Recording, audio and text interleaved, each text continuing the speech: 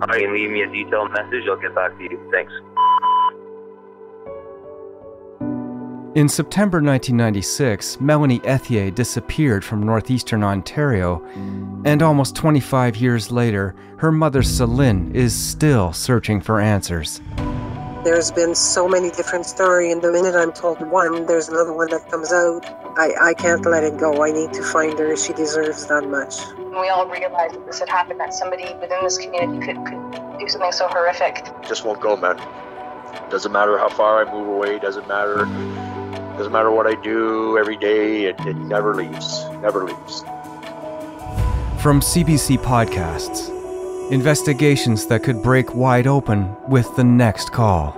I noticed a car coming towards me, and it made me a little bit nervous because it was driving quite slowly. I mean, obviously, there was some talk about what the hell happened after I left and he lifted his sweater at his wrist and showed me he had nail marks, like deep nail marks. And his story never made sense. I don't think she would have been strong enough to fight off a man or a group of men. But I want more. I want to know who it was.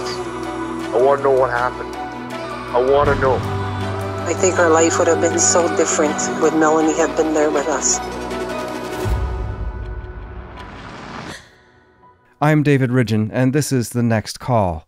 Available now on the CBC Listen app and everywhere you get your podcasts.